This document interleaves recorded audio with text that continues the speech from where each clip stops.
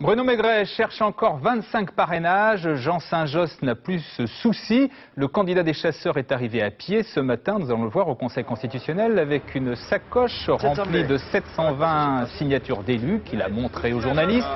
Avant de les porter aux sages, Jean Saint-Josse qui se dit maintenant prêt pour le sprint électoral. Nous allons l'entendre. candidat à la présidence de la République. Et quand il y a les élections municipales, il faut être candidat.